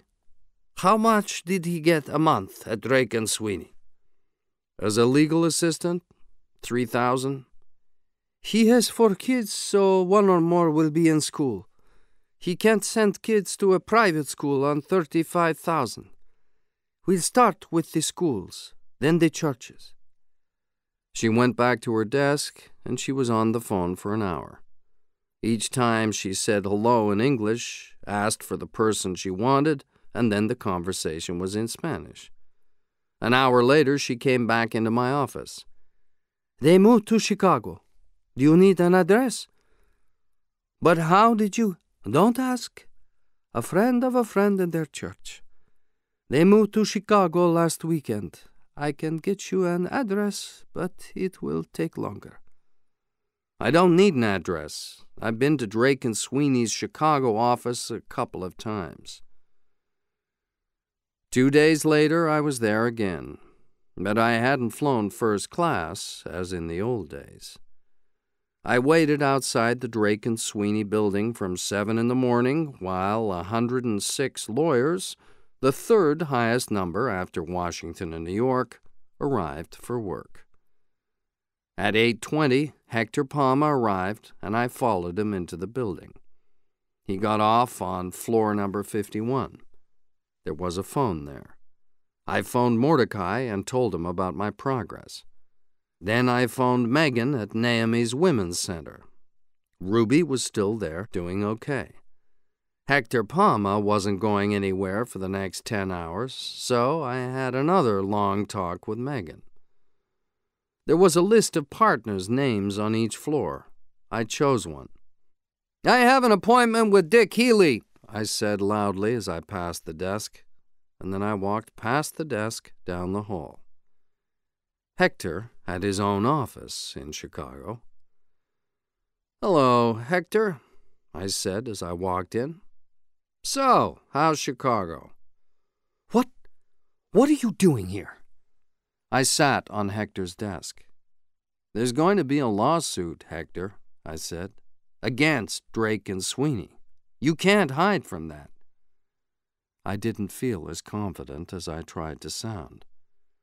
And who's starting this lawsuit?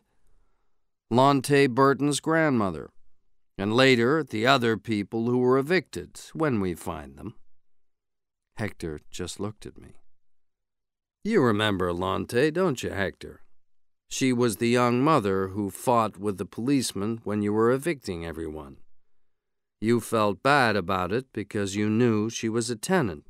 So you wrote that in a note dated January 27th, and you put that in the file. But Braden Chance took your note out again. That's why I'm here, Hector. I want a copy of that note.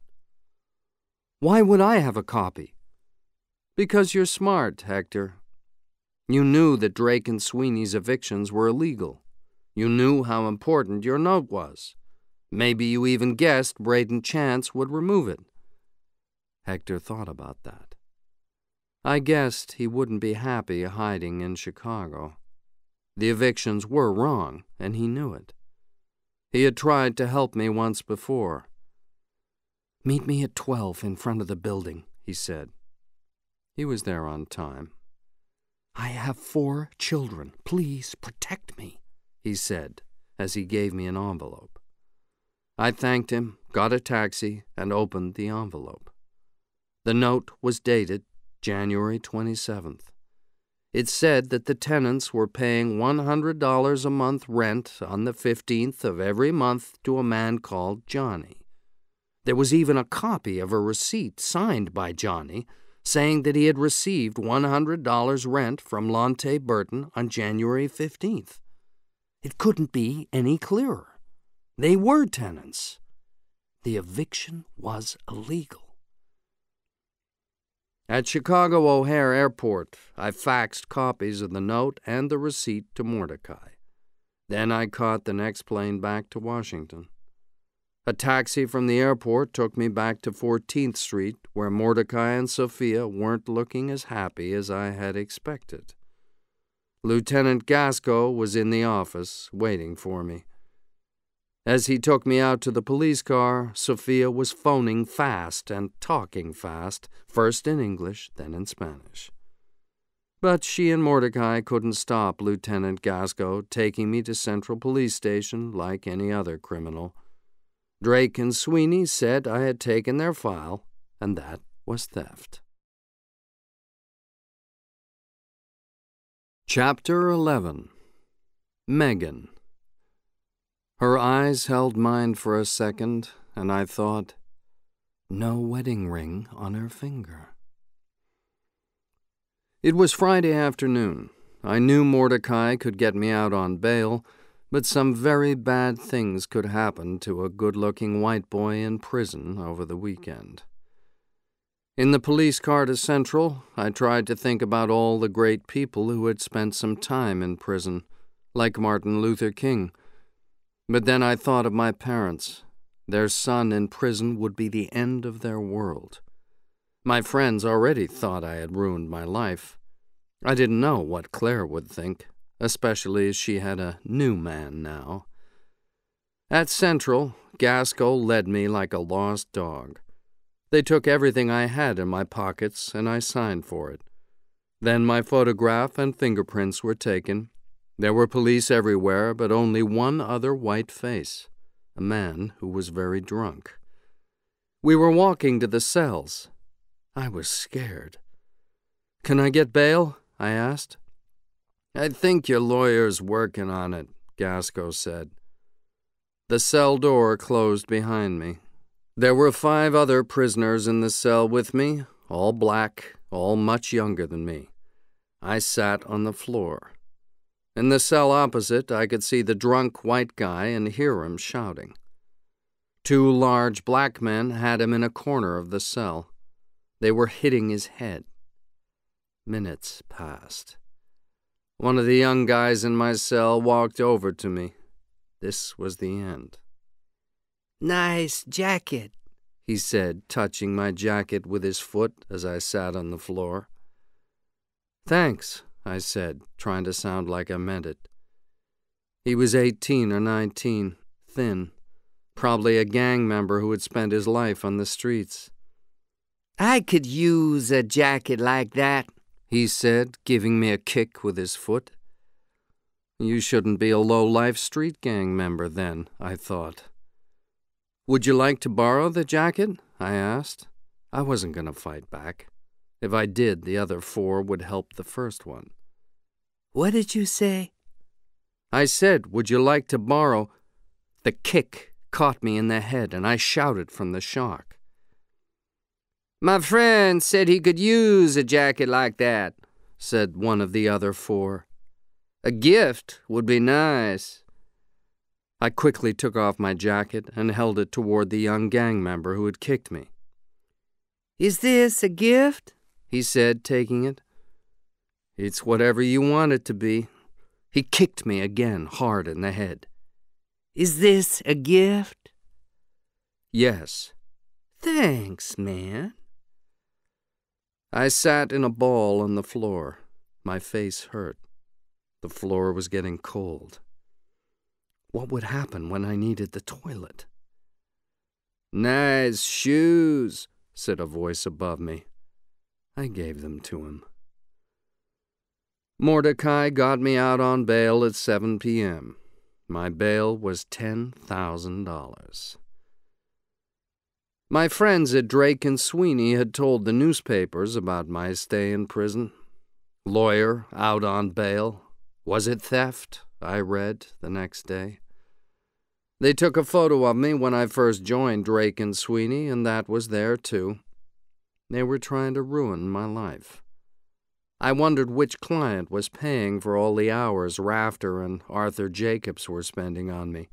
A client was definitely paying. A client paid for every hour of every lawyer's time. River Oaks, probably. I went in to work at 14th Street Ruby was asleep in front of the door. Why are you sleeping here? I asked. She didn't answer. She was hungry. I unlocked the door, made coffee, and went to find the cookies. The phone rang. It was Megan. Ruby had left Naomi's. Are you taking drugs again? I asked Ruby. She didn't look at me. No, she said. Yes, you are. Don't lie to me, Ruby. I'm your friend and your lawyer, and I'll help you see Terence. But I can't help if you lie to me. Now, will you go back to Naomi's? Yes. Good. I'll take you. Okay. She took another cookie, her fourth. On the way back to Naomi's, she said, You were in prison. How did you know? You hear stuff on the street. When we arrived, Megan took Ruby into the women's group and then asked me to stay for coffee. She threw a Washington Post to me. Bad night, huh? she said with a smile. There was my photo again. It wasn't too bad. What's this? she asked, pointing at my face. A guy in my cell wanted my shoes. He took them. She looked at my shoes. Old Nikes. Those? Yes. Good shoes, aren't they? How long were you in there? A couple of hours. Then I got my life together. I'm a new man now. She smiled again. A perfect smile. Her eyes held mine for a second, and I thought, no wedding ring on her finger. She was tall and a little too thin. Her hair was dark red and short and well cut. Her eyes were light brown, very big and round, and nice to look at. She was very attractive, and I wondered why I hadn't noticed it before. I told her about me. She told me about herself. Her father was in the church in Maryland. He liked baseball and he loved Washington. As a teenager, Megan had decided to work with the poor. It was a job, but a job she liked.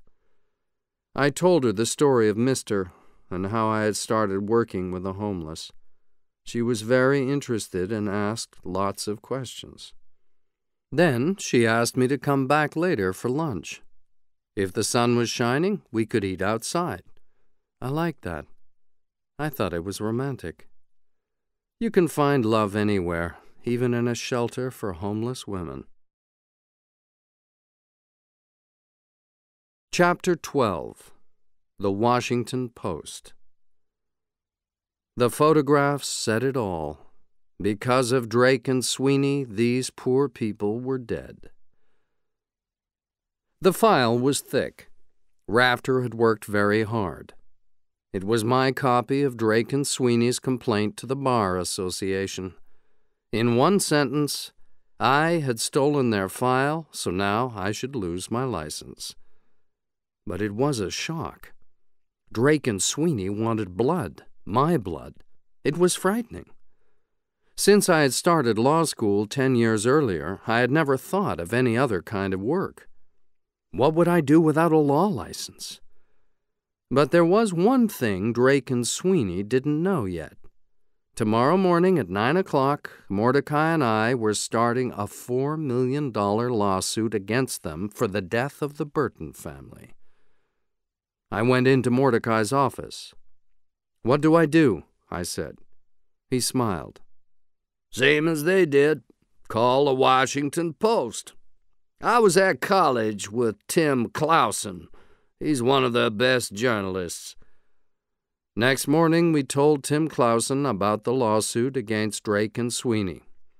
The Burton story was already big as a result of the march and my night in prison, and this made it even bigger. He asked us a lot of questions, and I was happy to answer. Drake and Sweeney went to the newspapers first. The story was in the newspaper the next day. For an old law company like Drake and Sweeney, it was the worst thing in the world. Arthur Jacobs' photo appeared next to Devon Hardy's. There were also photographs of Lontae Burton taken from the march. You didn't even have to read the story. The photographs said it all. Because of Drake and Sweeney, these poor people were dead. The next day, it got even worse for Drake and Sweeney. The post office didn't like all these stories in the newspapers, and they didn't want River Oaks as their real estate company. That left River Oaks with nothing. River Oaks told the Washington Post they didn't know the evictions were illegal. A million dollar lawsuit for lost business by River Oaks against Drake and Sweeney was becoming possible. Arthur Jacobs phoned Mordecai at the Law Center. He wanted to meet Mordecai at Drake and Sweeney's offices to talk about the lawsuit. Without me. Mordecai smiled at me. This could be the meeting, he said. Maybe, I replied. My future could depend on Mordecai's talk with Arthur Jacobs. That night I couldn't sleep. Mordecai was enjoying himself. He told me afterward that he couldn't believe Arthur Jacobs was nearly eighty. The old man told Mordecai immediately that Braden Chance was gone. He didn't choose to leave Drake and Sweeney. They told him to go. Chance had been the only one who knew those people were tenants. I believed that. Mordecai showed Arthur Jacobs the missing note from the file and the receipt. Rafter was at the meeting, too, with some other lawyers, and for a long time none of them said a word. Then Arthur Jacobs made a suggestion. He said he wanted to meet with us and a judge. With the judge there, we could decide everything on one day the Burton lawsuit, the theft of the file lawsuit, and the Bar Association complaint. The judge would be Judge Diorio, who Mordecai knew was a fair judge. What do you think? Mordecai asked me. What do you think? I say we do it. I'll call Judge Diorio and arrange a time. Chapter 13 Burton against Drake and Sweeney. You put this family on the street. You've told us you did, and that's where they died. We were in Judge Diorio's room, but this wasn't a court. There were two lawyers from River Oaks. From Drake and Sweeney, there was Arthur Jacobs, Rafter, Nathan Malamud, and Barry Nuzzo. Why Malamud and Nuzzo, who were not going to speak for Drake and Sweeney? Then I understood. Malamud and Nuzzo had gone back to work after that Tuesday with Mister. They were fine, so why wasn't I? Judge Diorio said good morning, and then gave Mordecai five minutes to make the complaint against Drake and Sweeney in the Burton lawsuit. Mordecai needed just two minutes. He explained clearly how Drake and Sweeney's illegal eviction led to the deaths of Lontae Burton and her children. Arthur Jacobs spoke for Drake and Sweeney. He didn't disagree with Mordecai about what had happened to Lontae and her children, but he said it was, in part, her own fault. There were places for her to go, Arthur said. There were shelters open. She spent the night before in a church with many other people. Why did she leave? Her grandmother has an apartment in Northeast. Why didn't this mother do more to protect her little family? Why was she in the street at all? Diorio asked, and I almost smiled. Arthur stayed calm. The eviction was wrong, he said. We are not arguing with Mr. Green about that.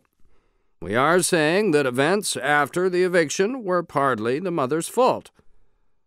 How much of it was her fault? asked Judge Diorio. At least half. That's too high. We don't agree, Judge Diorio. Mr. Green? Mordecai stood, shaking his head in disbelief. Like Arthur was a first year law student. These people have nowhere to live, Mr. Jacobs. That's why they're called homeless. You put this family on the street. You've told us you did, and that's where they died. We could go to court. Would you say the same thing there? Stand up in court, Mr. Jacobs. Say it was the mother's fault her family died.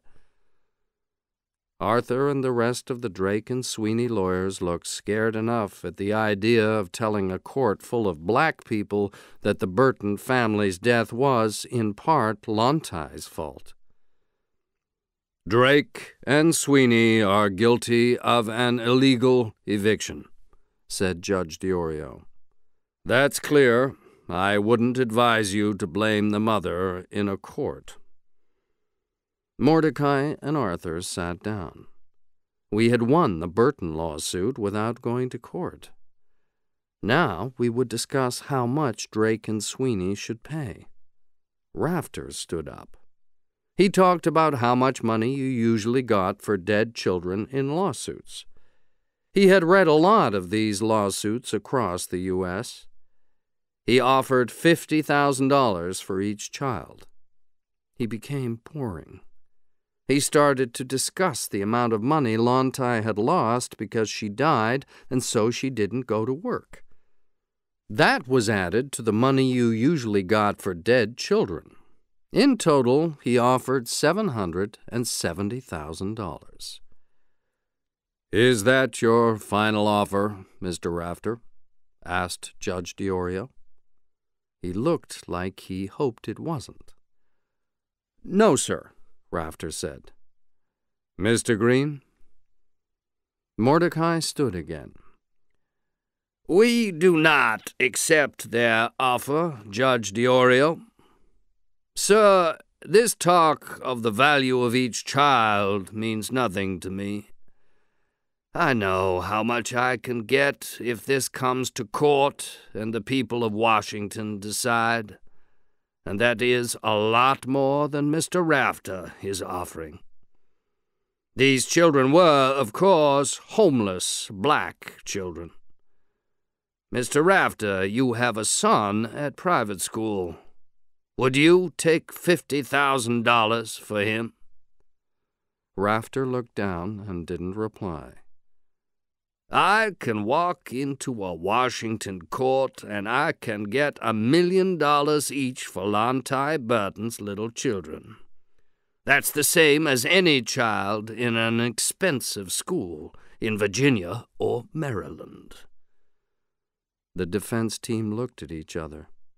They all had kids in expensive schools in Virginia and Maryland.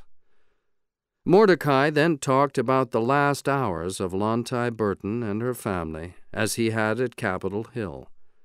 He was a born storyteller, and he had a good story to tell. His voice went up and then down in anger. At the end, he pointed at the Drake and Sweeney lawyers, speaking for them.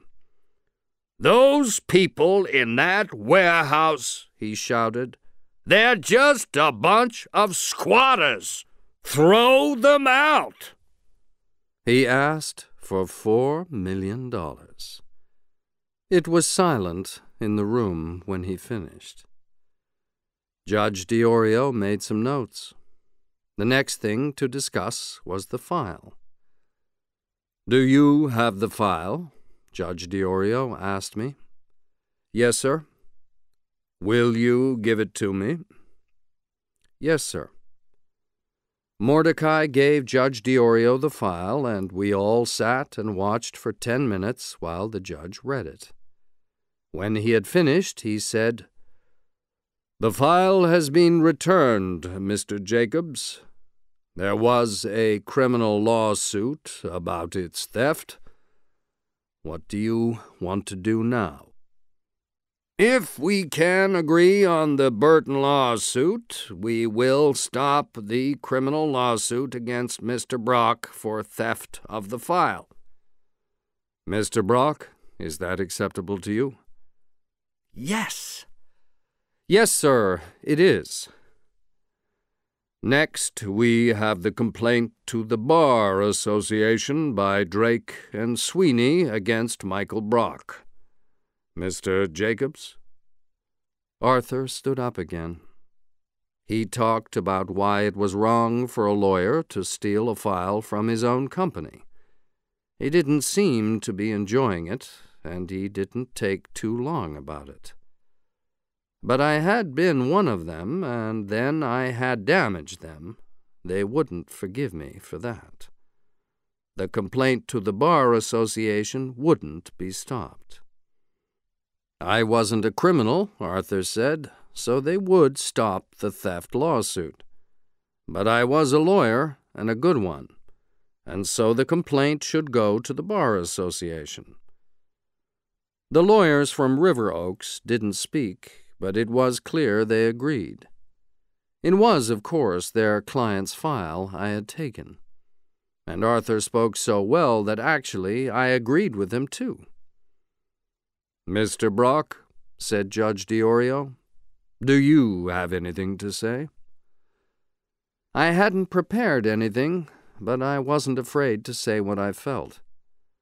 I looked Arthur in the eyes and said, Mr. Jacobs, I have always had a very high opinion of you, and I still do.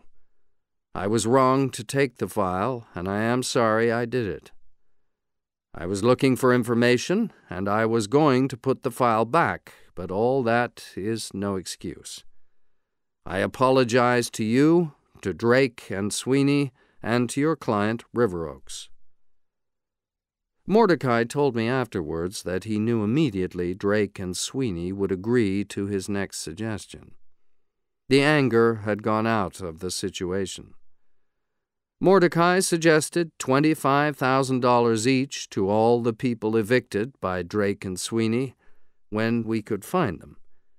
He suggested $3 million for the Burton lawsuit paid at 300,000 a year.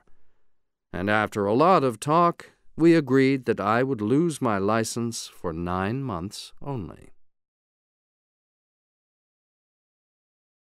Chapter 14 A New Life I'm thinking about my new life, I said, and we both smiled. Early Friday, I was happily helping homeless people at the 14th Street Law Center, though not, of course, speaking as a lawyer, when Arthur Jacobs suddenly appeared at my door. I said hello nicely, though I couldn't imagine what he wanted. He said no to coffee. He just wanted to talk. Arthur said that the last few weeks had been the most difficult of his 56 years as a lawyer. Drake and Sweeney was okay again now, but he still couldn't sleep. He felt guilty about the deaths of the Burton family, and he would never forget it. And he was tired of chasing money. I was too surprised to say much, so I just listened. Arthur was suffering, and I felt sorry for him. He asked about the law center and the work we did. How long had the center been there?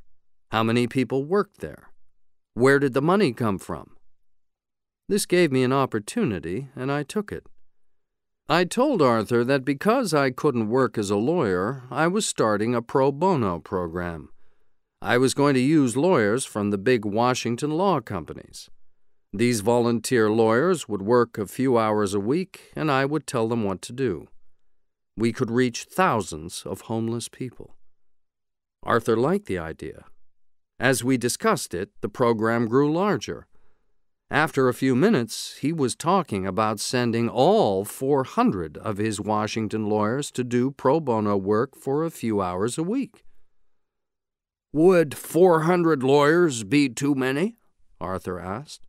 No, I said, but I'll need help from inside Drake and Sweeney. I know someone.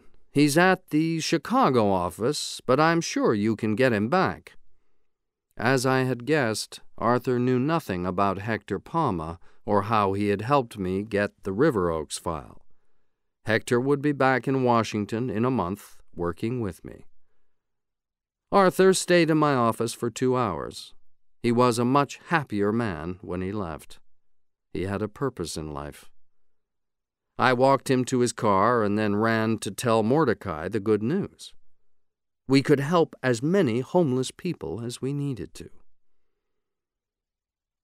Megan's uncle owned a house near Fenwick Island, right near the ocean, a perfect place for a weekend break. We left Washington Friday afternoon. I drove, and Megan told me where to go. And Ruby sat in the back seat, eating cookies, excited by the thought of spending a few days outside the city. Megan had told me very clearly that there were three bedrooms in